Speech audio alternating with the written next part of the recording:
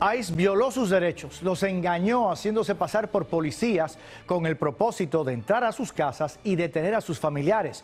Esto es lo que alegan tres familias inmigrantes que han unido fuerzas para interponer una demanda colectiva contra el gobierno federal.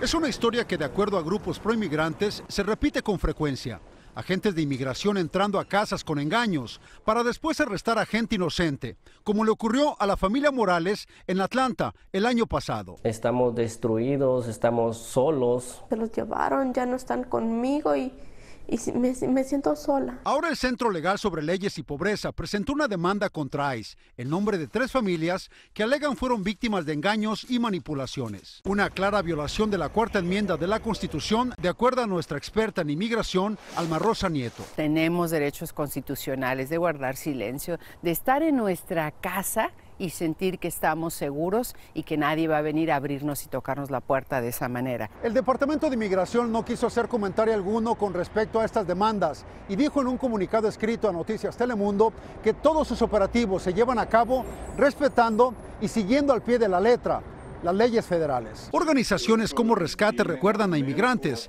estar bien informados. No abrir la puerta, no voluntariar ninguna información tener derecho a la consulta legal con un abogado de inmigración. Una forma de prepararse para un 2018 que se anticipa será un año difícil. Continuando con enfoque, ustedes saben que hemos visto un aumento recientemente en el número de casos de reportes